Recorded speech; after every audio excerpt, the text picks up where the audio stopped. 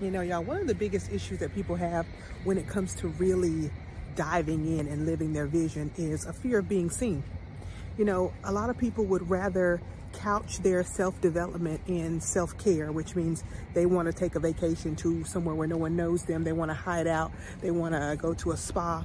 But really what's happening when we try to escape is that we're not being seen for who we are. And being seen actually really involves introducing yourself to strangers.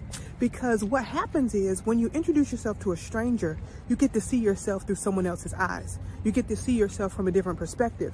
And when we start to see ourselves the way other people see us, we actually get more clues to the gifts that we might not even know that we have. We might start to excavate the real jewel of our vision.